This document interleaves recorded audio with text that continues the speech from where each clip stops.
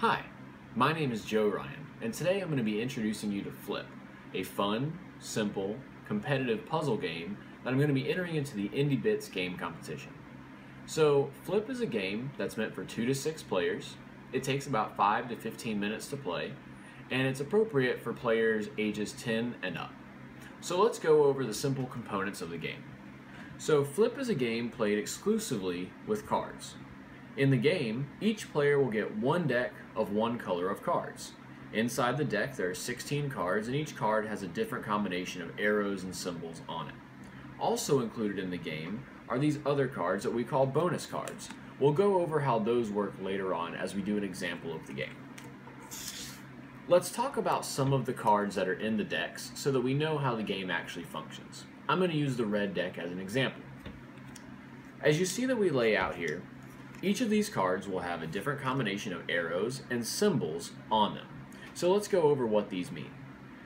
If when you place your card onto the table and an arrow is facing an adjacent card, then that card is going to flip over.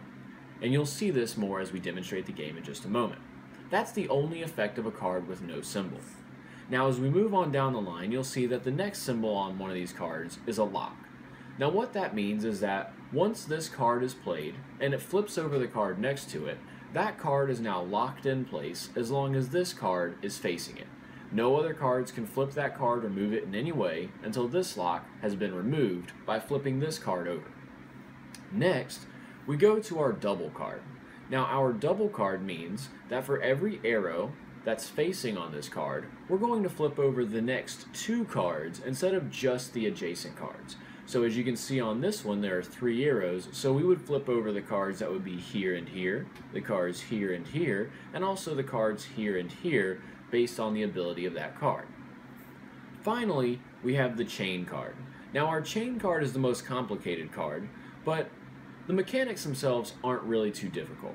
The way the chain card works is that if I place this card down on a next to a card that is already flipped over, when the card flips it over, this card reactivates as if it had just been played from a player's hand. So for example, if I were to flip this card using a regular card, when it flips, nothing extra is going to happen. It's just going to flip over, resulting in a point for the red player. However, if I flip this card over using the chain card, now when I flip it, it's going to activate as if I just played it, which means again, this card would flip these two cards, these two cards, and these two cards on the table. This is the basis of the game. The goal is at the end of the game, having the most cards face up on the board in comparison to all of your opponents. So let's quickly run through what a sample test of the game looks like, and then I'll let you go play it for yourselves. We're going to start with just two players, and so in this situation we're going to use the red and the blue deck. We won't play the full game because the full game with two players would take approximately 5 to 15 minutes, but I'll go through the first couple of moves in the game and explain how some of the mechanics work. The first step would be that each player is going to draw a number of cards specified in the rules. In these, what that means is that in a two-player game, you're each going to have 12 cards as you start the game. The game will be started by placing one bonus card in the center of the table. As the players place cards next to adjacent cards, the spaces will fill up. And in a two-player game, we're going to be ending up playing to a 5 by 5 grid with these cards, which means that as they get placed, once there are five cards in one dimension or five cards in the other dimension, no more cards can be placed outside of those. So, let's say that the red player goes first, and the red player plays a card from their hand, and that card might be this red card here. Now when I place that, what that means is it's going to flip this bonus card over. Now, when I flip the bonus card to the black side, what that means is that any card that it's facing using its arrow is going to lose a point at the end of the game when the scores are tallied. So as the red player, I don't want that facing my card, so I'm going to leave it facing the opposite direction for now. Now if I'm the blue player, I'm going to see an opportunity here, and I have this times 2 card in my hand. So the way I can use this times 2 card in this situation, I can place that times 2 card here. Or actually, for better purposes for me, I'm going to place it here. Now what that's going to let me do is turn this bonus card over, and when I turn over a card, I can orient it in whichever way that I want. So in this situation, I'm going to orient this card back towards me, which is going to give me a bonus point in scoring, and I'm going to flip the red player's card over, leaving it in place where it was. Now as the red player, I'm going to get to play another card.